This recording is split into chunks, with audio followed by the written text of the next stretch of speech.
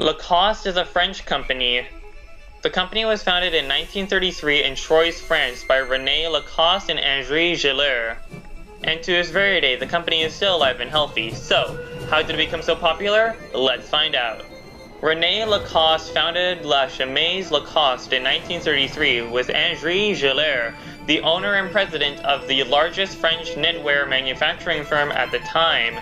They began to produce the revolutionary tennis shirt Lacoste had designed and worn on the tennis courts with the crocodile logo embroidered on the chest. The company claims this as the first example of a brand name appearing on the outside of an article of clothing. Starting in the 1950s, Izod produced clothing known as Izod Lacoste under license for sale in the US. This partnership ended in 1993 when Lacoste regained exclusive US rights to distribute shirts under its own brand.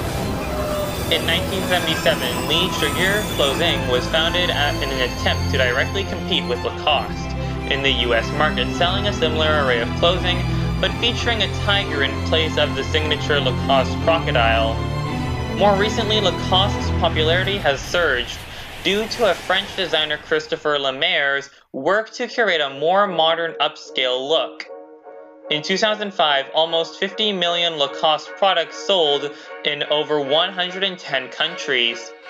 Its visibility has increased due to contracts between Lacoste and several tennis players, including former American tennis players Andy Roddick and John Isner, French veteran Richard Gasquet, and Swiss Olympic gold medalist Stanley Wawrinka. Lacoste had also begun to increase its presence in the golf world, where noted two-time Masters Tournament champion Jose Maria Olazabal and Scottish golfer Colin Montgomerie have been seen sporting Lacoste shirts in tournaments. Bernard Lacoste became seriously ill in early 2005 which led him to transfer the presidency of Lacoste to his younger brother and closest collaborator for many years, Michel Lacoste. Lacoste. Bernard died in Paris on March 21, 2006. Lacoste licenses its trademark to various companies. Until recently, Devanlay owned the exclusive worldwide clothing license, though today Lacoste polo shirts are also manufactured under license in Thailand by, I, by ICC and also in China. Pentland Group has, has the exclusive worldwide license to produce Lacoste footwear.